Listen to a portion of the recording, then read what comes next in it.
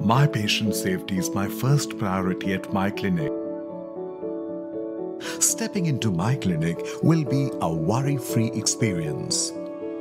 At our clinic, we follow three steps to ensure safety screening, sanitizing, and physical distancing.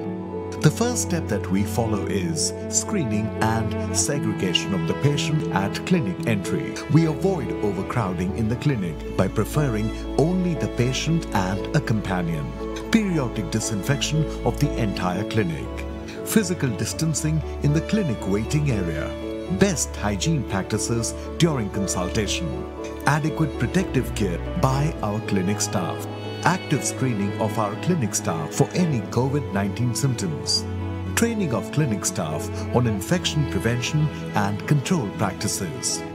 These are the simple measures to contain the spread of COVID 19. Any symptom can become potentially lethal. Don't ignore any symptoms. Visit my clinic for consultations.